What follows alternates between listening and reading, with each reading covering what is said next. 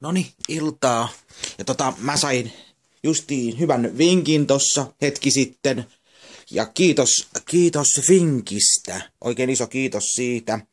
Tota, mä tota, tein, kun tuli vinkki, että kun tietokone on tässä, niin paina F, paina tota Fin-painiketta, FN-painiketta ja sitten etit täältä, sitten etitään täältä semmonen painike, mistä saadaan netti päälle, niin tossa on F3, toi, niin johan löytyy langaton nettiyhteys.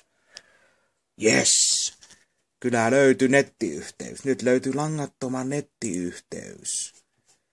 Kiitos vinkistä.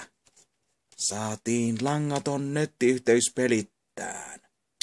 Ei muuta kuin iso kiitos ja se oli siinä. Kiitoksia, kiitoksia, saatiin nettiyhteys pelittää langattomasti. Ei mitään. Kiitoksia. Itse en tajunnut sitä, ei mulle käynyt mielessäkään, että koneessa on suoraan näppäimistössä kaksi nappia ja sitten löytyy langaton nettiyhteys. Niin heti alkoi tulee tänne langattomat nettiyhteydet. Oikein heti hirveä kasa täällä on yksi. Täällä on nettiyhteyksiä.